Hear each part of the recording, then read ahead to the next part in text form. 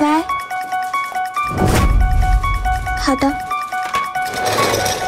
没案子了。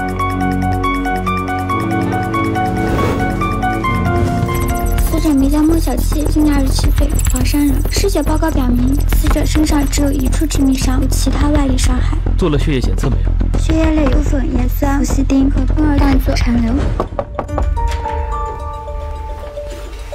跟我们说说你太太的事情吧。一年前，我太太有了身孕，我们出去玩，出了车祸，孩子没保住。后来，我太太精神状况一直不是很好。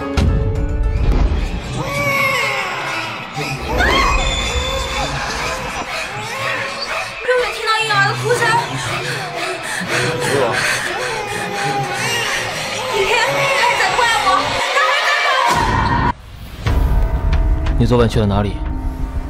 我昨晚和我朋友出去喝了点酒，回来我就看到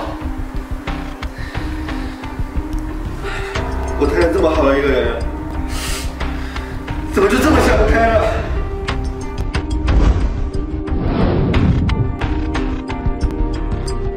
家里东西摆放整齐，户内除了正门以外，所有窗户都是定格和推窗，人不可能从窗户进来。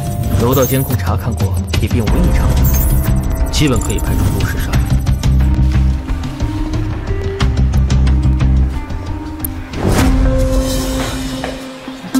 你是自杀吗？你认为呢？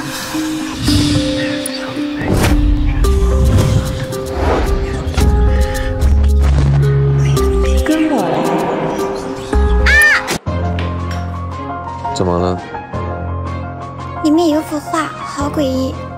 我太太生前是一名画家，你看到的那幅画，应该是她模仿瓦莱丽和江妮的腐烂艺术。这幅画我可以带回去做检测吗？这行吧。检测报告出来了，里面还有血液成分。看来我们得再去一趟。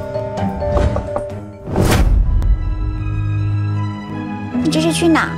出去散散心。你现在还不能走，如果我偏要走呢？果然是你。不是他，你不好好解释一下这个吗？我隐瞒真相，你知道后果。干什么？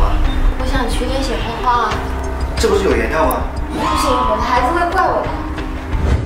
如果我没猜错的话，你太太不是自杀，而是死于意外。我询问过你太太的主治医生，她的病还没有严重到有自杀倾向。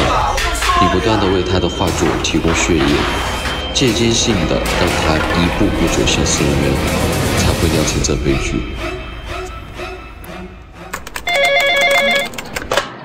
喂，